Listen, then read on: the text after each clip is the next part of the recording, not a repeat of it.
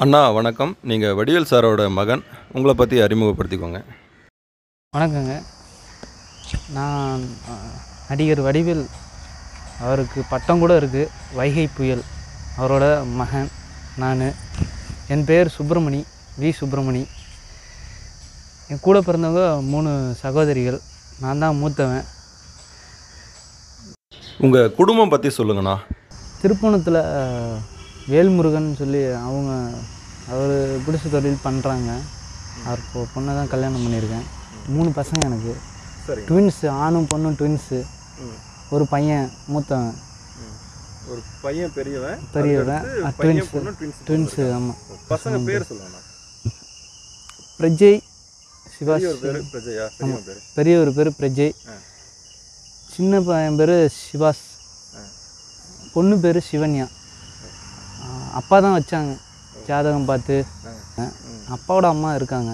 ஆனால் எனக்கு ரெண்டு பாட்டியுமே ரொம்ப விருப்பம். ரொம்ப பாசம். அதில் எங்கள் அம்மாவோட அம்மா இருந்தாங்கல்ல அவங்க பேர் நாகம்மா. என்னோட அம்மாவை பெற்றவங்க அவங்க வந்து எனக்கு நடிக்கிறதுக்கு இப்படி இருக்கணும் அப்படி ஆடணும். என்னைய சொல்லிக்கிட்டே இருப்பாங்க. அண்ணா உங்களுக்கு நடிக்கணுன்ற ஆசை இல்லையாண்ணா? ஆசைகள்லாம் இருக்குது அதை வந்து ஒரு உண்மையான ஆசையாக இல்லாமல் சில பேர் என்னை டிஸ்டர்பன்ஸுன்னு சொல்ல வர நல்லது தான் அது யாரையும் நான் குறை சொல்லக்கூடாது. கொஞ்ச நாள் ஆகும். அவ்வளோதான் நான் சொல்லுவேன் கொஞ்ச நாள் ஆகும். ஆனால் உங்கள் நடிக்க ஆசை ஆமாம் நடிக்க என்ன மாதிரி கேரக்டரில் நடிக்க உங்களுக்கு ஆசைண்ணா? அப்பா மாதிரி காமெடியாக நடிக்கணுமா? இல்லை ஹீரோ வில்லன் அந்த மாதிரி ஏதாவது ஆசை இருக்காண்ணா? ஆக்சுவலாக எனக்கு ரொம்ப பிடிச்சது வந்து இவர் நம்ம ஜிம் கேரி இருக்கார்ல. ஜிம் கேரி நம்ம ஹாலிவுட் ஆர்டிஸ்ட் அவரோட மேனரிசங்கள் கொஞ்சம் வரும். சில முக அசைவுகள் கைகால் அசைவுகள். அதாவது நான் ஸ்ட்ரெயின் பண்ணுற ஆக்டிங் கூட நான் பண்ணுற மாதிரி எனக்கு அந்த டேலண்ட் இருக்குது பட்டு தமிழில் வந்து முக்கியமாக நல்ல டைரக்டர்கள் அமைஞ்சு எனக்கு தகுந்த மாதிரி ஒரு கதைகள் அமைஞ்சால் நான் பண்ணுவேன். நான் வேணான்னு சொல்லலை. ஆனால் என்னைய எடுத்துகிட்டு போகணும். அந்த அந்த இதுக்கு அந்த அந்த உலக சினிமா இண்டஸ்ட்ரிக்கு என்னைய ஒத்துழைப்பு கொடுத்து கூட்டிகிட்டு போகணும். அந்த மாதிரி தன்னம்பிக்கை உள்ள எனக்கு எனக்கு தன்னம்பிக்கை விட்டுற மாதிரியும் தன்னம்பிக்கை உள்ள ஆளுகளும் கிடைச்சா நான் கண்டிப்பாக படம் நடிப்பேன். ஐயனார் எங்கள் குலதெய்வம் ஐயனார் மேலே ஆனது. நடிக்கணுன்ற உங்களோட ஆசையை உங்கள் அப்பா கிட்ட எப்பயாவது சொல்லியிருக்கீங்களாண்ணா? ஆ சொல்லியிருக்கேன் அப்பாட்ட. அவர் என்ன சொன்னார்? நடிப்பா? ஆனால் வந்து நடிப்புன்றது அவ்வளோ பெரிய ஈஸியான இது இல்லை. Early early மார்னிங்லாம் சீக்கிரம் எந்திரிக்கணும். Early மார்னிங் எந்திரிச்சு நீங்கள் அதுக்கு தகுந்த மாதிரி ஒர்க் அவுட் பண்ணணும் போகணும் சீக்கிரம். அந்த இது அப்பா எனக்கு சொல்லியிருக்காங்க. அப்பா எனக்கு நல்ல அட்வைஸ் கொடுப்பாங்க. அப்பா கிட்ட வடிவேல் சார் கிட்ட உங்களுக்கு பிடிச்ச விஷயம் என்னண்ணா அப்பாட்டையா? அப்பா வந்து அவர் வந்து உலகளாவிய ஒரு மிகப்பெரிய நடிகன். உலக மாமேதைன்னு தான் சொல்லணும். அவர் ஒரு மேதை. அவர் நடித்த படங்களில் உங்களுக்கு என்ன படம் பிடிக்கும்? என்ன காமெடி சீன் உங்களுக்கு பிடிக்கும்? அவர் நடித்த படங்களில் காமெடின்றது எல்லாமே அவர் பண்ணுறது எல்லாமே எல்லாரையும் சிரிக்க வைக்கிற மாதிரி தான் பண்ணுவார். எதுவுமே சிரிக்க வைக்காத மாதிரி இருக்குது ஆனால் அவர் பிடிச்ச காமெடி வந்து இந்த இப்போதைக்கு வரதை சொல்ல மைண்டில் சொல்லண்ணா சொல்லண்ணா அந்த வாழைப்பழ காமெடி ஒரு டைரக்டர் இருக்கார்ல மனோன்னு சொல்லிட்டு டைரக்டர் என் புருஷன் குழந்தை மாதிரின்னு நினைக்கிறேன் அந்த படம். அது என்ன படம் தெரில நீங்கள் உட்காருங்க நீங்கள் உட்காருங்க நீங்கள் உட்காருங்கன்னு சொல்லி அந்த கடையவே நொறுக்கிடுவாங்க அது நல்லா இருக்கும். அது நேச்சுரலாக இருக்கும். ஒரு ரெண்டு பேர் டீ கடைக்கு போனால் என்ன நடக்குமோ அதை அப்பா அப்படியே பண்ணியிருப்பாங்க. டைரக்டர் அவர் மனோஜ் சார். அவர் என் மேலே ரொம்ப பிரியம். யார் டைரக்டர் அப்பா கூட நடிச்சவர்? நடித்தவர் எங்கள் அப்பா கூட நடித்தவர் டைரக்டர் ஓகே ஓகே. அவர் அப்பா நடிச்சதுல வேற எந்தெந்த காமெடி உங்களுக்கு பிடிக்கும்? அதை பற்றி சொல்லுங்கண்ணா. மெர்சல்லாம் நல்லா இருக்கும். நல்ல படங்கள் நல்ல காமெடிகள். அவர் நடித்த பகவதி எனக்கு ரொம்ப ரொம்ப பிடிக்கும். ஏன்னா ஷூட்டிங்கில் போய் பக்கத்துலேருந்தே பார்த்தேன் நான் அப்பா கூட. விஜய் சார் கூட நடிகர் நம்ம இப்போ இளைய தளபதி விஜய் விஜய் அண்ணன் கூட நான் ஃபோட்டோலாம் எடுத்திருக்கேன். வின்னர் படம்லாம் அதை பற்றி சொல்லுங்கண்ணா. வின்னர் படம் வந்து அப்பா உண்மையிலே ரொம்ப கஷ்டப்பட்டாருன்னு தான் சொல்லணும். ஏன்னா அந்த படம் காமெடி எல்லாருக்குமே ரொம்ப பிடிக்கும். ரொம்ப ரசிக்கக்கூடிய ரொம்ப அதிக ரசிக்கக்கூடிய அந்த காமெடிகள் இருக்கும். ரசிப்பு த ரசிப்பு இல்லாதவங்க கூட அதை பார்த்து சிரிப்பாங்க. அப்படி இருக்கும்போது அவர் அந்த படத்தில் அப்பாவுக்கு கொஞ்சம் காலில் கொஞ்சம் ஃப்ராக்சர் ஆயிடுச்சு ஃப்ராக்சர் ஆனதோட அந்த மலை மலை பாகங்களில் நடக்கிற மாதிரி ஒரு சீனு ஓடுவார். அந்த இதெல்லாம் ரொம்ப ஸ்ட்ரெயின் பண்ணி நடித்தார் எங்கிட்ட வந்து அழுதுருக்கார். கால் வலிக்குதுன்னு. ரொம்ப ஒரு ஒரு அது எப்படி நடந்து என்ன ஆச்சுன்னு தெரில அது மாதிரி மானஸ்தன் படம். அதுலேயும் ஃப்ராக்சர் ஆயிடுச்சு. ஒரு குழிக்குள்ளே குதிக்கிறேன்னு சொல்லிட்டு டைரக்டர்லாம் சொல்லியிருக்காங்க. சார் வேணாம் சார் குதிக்காதீங்க. டூப் போடுவோன்னு சொல்லியிருக்காங்க. அதெல்லாம் முடியாது. நானே நடிப்பேன்னு எங்கள் அப்பா அவராக ஒரு குழிக்குள்ளே குதிச்சு காலில் அப்போவே ஃப்ராக்சர் ஆச்சு. ஃபஸ்ட்டு அந்த மானஸ்தன் ஃப்ராக்சர் தான். அதுக்கப்புறம் வின்னர் பயங்கரம். ரொம்ப கடின உழைப்பில் நடித்தார் அது போக வேதனையோடு நடித்தார் வலி வேதனை தாங்க முடியாமல் நடித்தார் அவருக்கு வலது கால் வந்து கொஞ்சம் வீக்கமாக தான் இருக்குது பெயின் இன்னமும் இருந்துகிட்டு தான் இருக்குது சார். நான் இப்போது உங்கள் அப்பாவை தவிர வடிவேல் சாரை தவிர வேறு எந்தெந்த காமெடி நடிகர்கள்லாம் உங்களுக்கு பிடிக்கும்? எனக்கு விவேக் சார்னா ரொம்ப பிடிக்கும். ஏன்? இப்போ வந்து மிகப்பெரிய ஆளுக மிகப்பெரிய ஆளாக இருந்தாலும் அவர் என்னை ரொம்ப நல்லா பா ஒரு நாள் போய் பார்த்தோம் அவரை. அவரும் ரொம்ப முடியாமல் இருந்தார். அப்போ அப்பா நான். எங்கள் மேனேஜர் ஒருத்தர் இருந்தார். அப்போ அவர் இப்போ இல்லை. நானும் அப்பா எல்லாம் போய் பார்த்தோம். அவருக்கு கொஞ்சம் அப்போ போய் பார்த்துட்டு அப்பா ஆறுதல் சொன்னார். என்ன விவேக் என்னாச்சு அப்படின்ற. அதுபோக அவரோட காமெடிகள் சிலது டக்குன்னு சிரிப்பு வரும். அப்பா அதுனா யோசிச்சு யோசிச்சு சிரிச்சுக்கிட்டு இருக்கலாம். அவருதுன்னா டக்குன்னு நல்லா சிரிப்புகள் காமெடிகள் நல்லா ரசனையாக இருக்கும். நல்லா காமெடி ரசிப்புத்தன்மையாக இருக்கும். வேறு எந்த காமெடி நடிகர்னா உங்களுக்கு பிடிக்கும்? கவுண்டர் மணி கவுண்டர் மணி என்ன என்ன விஷயம்? அவர்கிட்ட பிடிச்ச விஷயங்கள் என்ன? ஏன் பிடிக்கும் அவரை? அது சொல்லும் போதே தெரியும் அவர் ரொம்ப எல்லாரையுமே அதட்டி அதட்டி பேசினாலும் அதிர்ற மாதிரி சிரிப்பு வரணும்னு அதட்டி பேசினாலும் சிரிப்பு வந்துடும் சிரிக்க முடியாதவங்களுக்கும் சிரிப்பு வந்துடும் நல்லா அவரும் செந்தில் சாரும் பிடிக்கும். கவுண்டமணி சார் செந்தில் சார் சேராமல் காமெடி இல்லை. கவுண்டமணி சார் நடித்ததுலே உங்களுக்கு பிடிச்ச காமெடிகள் என்னென்ன? அதை பற்றி கொஞ்சம் சொல்லுங்கண்ணா. கவுண்டமணி சாரோட காமெடினா நாட்டாம டீச்சரை வச்சிருக்காருங்க அப்படின்னாருங்களே அந்த காதில் அடிச்ச என்ன சத்தமே கேட்கல அப்படின்னு கத்துவாருங்களே. அந்த மாதிரி அந்த அந்த காமெடி ரொம்ப பிடிக்கும். வேறு காமெடி. வேறு காமெடி அந்த மாமன் மகள்னு ஒரு படத்தில் சத்யராஜ் சாரும் கவுண்டமணி சாரும் அந்த வெளியில் நின்றுக்கிட்டு ஏய் யாரா ஏய் மாப்பிள்ள தாண்டு மாப்பிள்ள போடுறாராமா போடுறாமான்னு ஏதோ ஒரு டைலாக் நல்லா இருக்கும் அது அவரோட இது வந்து ரொம்ப மனசில் நான் அவரோட மென்டர்னே சொல்லலாம். மென்டர்னா அவரோட காமெடி டைலாக்ஸை நான் ரொம்ப பேசுவேன். தலையை சுண்ணாம்பு செட்டி மாதிரி வச்சுன்னு மியூசிக் மட்டும் டை அடிச்சிட்டான்னு செம ஓட்டு ஓட்டுவார் இல்லை நான் ஒரு முல்லை மாதிரிமா நான் ஒரு முடித்து வைக்கி அப்படின்னு பேசுவாங்களே அது கவுண்டமணி சார் நடித்த படத்தில் அப் எங்கள் அப்பாவும் நடிச்சிருந்தாங்க. அப்பா ஃபஸ்ட்டு ஃபஸ்ட்டு அவர் கூட கவுண்டமணி சார் கூட நடித்தது ஃபஸ்ட்டு இன்ட்ரோட இன்ட்ரடக்ஷன் அப்பாவுக்கு.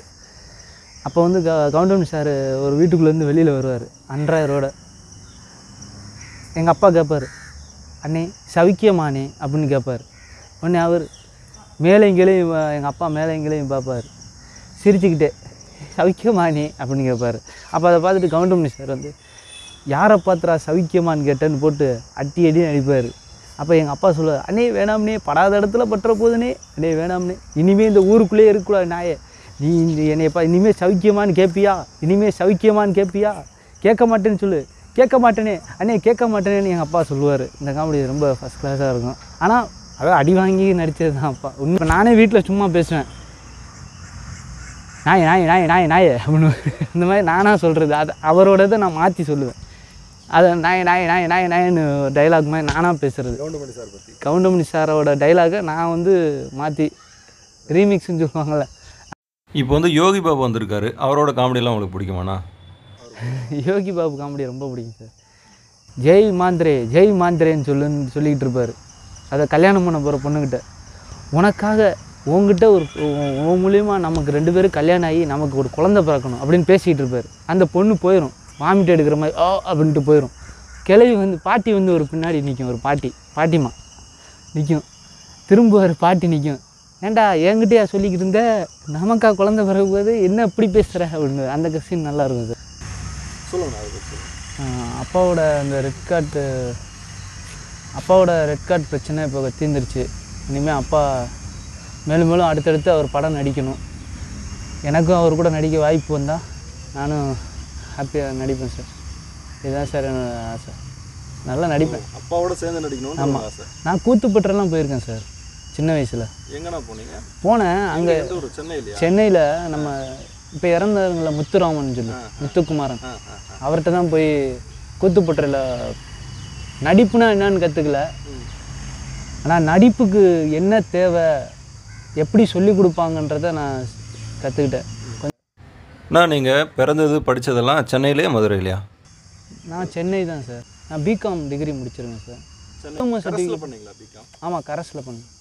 சார் அப்பா சில பேர் வதந்திகளை வச்சு சில இதுகளை பரப்புகிறாங்க என்னென்னா வடிவேல் மகன் சொன்னால் வடிவேல் வீட்டில் இருக்க எவனுக்குமே வேலை கிடைக்காது வடிவேல்னு சொன்னான் அப்படின்றத ஏன் எனக்கு கேட்குற மாதிரி ஒரு இது வந்துருச்சு. அதனால் நான் சொல்கிறாங்க ஆனால் அப்படி நான் வேலை வாய்ப்புக்கு நான் தேடினேன். எனக்கு ஏதாவது வேலை வாய்ப்பு கொடுங்கன்னு. என்ன மாதிரி தொழில் செய்யணும்னு ஆசை? நடிப்பு தான் உங்களுக்கு ஆசையா? இல்லை வேற ஏதாவது பிஸ்னஸ் வேற வேற ஏதாவது சர்வீஸ் யாருக்காவது சர்வீஸ் பண்ணணும். ஆர்எஸ் ஆர்எஸ் ஆர்எஸ் மாதிரி. சர்வீஸ். ஆர்எஸ்எஸ். RSS RSS. அவங்கள மாதிரி சர்வீஸ் பண்ணணும். சர்வீஸ் பண்ணணும்னு ஆசை தான் அது இப்போ வந்திருக்கு சார். நீங்கள் அதில் இருக்கீங்க நிறையா பண்ணியிருக்கேன். நீங்கள் ஆர்எஸ்எஸ் இல்லை இல்லை. நான் தெரியாமல் நான் சில பேருக்கு உதவிகள்லாம் பண்ணியிருக்கேன். அதை நான் வெளிக்காட்டுறதில்ல.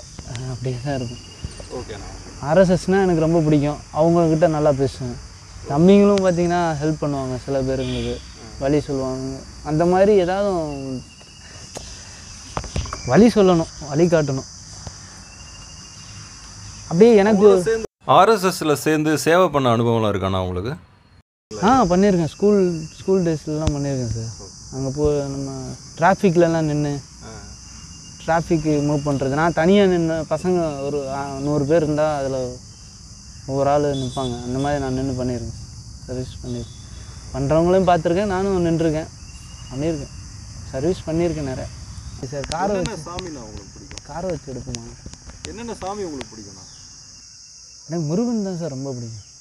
சாந்தமானவர். உங்கள் எதிர்கால திட்டங்கள்லாம் என்னென்ன? அதை பற்றி கொஞ்சம் சொல்லுங்கண்ணா. பசங்களை நல்லா படிக்க வைக்கணும். நான் ஆட்டி வைத்தார் யார் ஒருவர் ஆடுவாதோ கண்ணான்னு ஒரு பாட்டு இருக்குது சார்.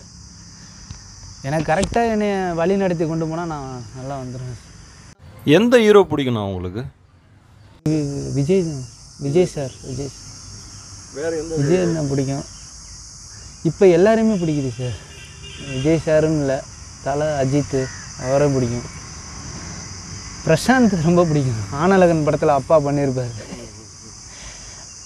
டாடி இவன் என்னை திட்டுறான் டாடி அப்படின்னு ஒரு சின்ன சின்ன சார். அதெல்லாம் நல்லா அது நல்லா இருக்கும். ரியாலிட்டி நல்லா இருக்கும் சார். நான் இப்போது உங்கள் அப்பா கிட்ட உங்களுக்கு பிடிக்காத விஷயம்னு ஏதாவது இருக்கா? சார் அப் அப்பாட்ட பிடிக்காதுன்னு ஒன்றுமே இல்லை. அவரை எனக்கு ரொம்ப பிடிக்கும். அவர் ஹாலிவுட் நடிகர் ஜிம் கேரி தனக்கு ரொம்ப பிடிக்கும்னு சொல்லியிருந்த திரு சுப்பிரமணி அவரை மாதிரி நடிச்சும் காட்டினார். I'm the king of தனக்கு முருகப்பெருமான் ரொம்ப பிடிக்கும்னு இவர் ஏற்கனவே சொன்னார் இல்லையா? முருக பக்தியை பரப்பிய தெய்வ திரு கிருபானந்த வாரியார் மாதிரியும் இவர் நமக்கு பேசி காட்டுறார் பாருங்க. அப்பன் முருகன் என்ன சொன்னார்? நமக்கு நல்ல வழி காட்டினார். முருகனை வேண்டுங்க எந்த குறையும் வராது. உலகத்தில் முருகன் தான் நமக்கு துணை. ஏன்? முருகன் ஏன்? என்னை மாதிரி ஆளு கூட முருகன் தான் உதவுறார். முருகனை வேண்டுங்க. அவர் எந்த குறையும் வைக்க மாட்டார். தீர்க்க ஆயுளையும் நல்ல ஒரு காரியத்தையும் செஞ்சு கொடுப்பார். பயப்படாமல் அவரை மட்டும் வேண்டுங்க. பயங்களை போக்கிடுவார். முருகன் என்றைக்கும் உங்களுக்கு துணைக்கு இருப்பார். முருகன் ஞாபகம் முருகன் முருகன் துணை. டிவி சீரியலில் நடிக்கிறேன் sir.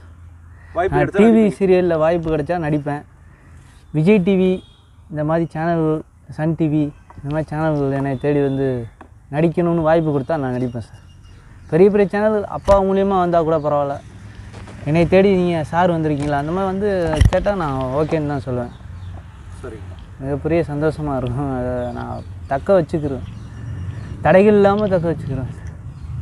Thank you thank you very much நன்றிண்ணா நன்றிண்ணா. Channel argues of Hindustan thank you sir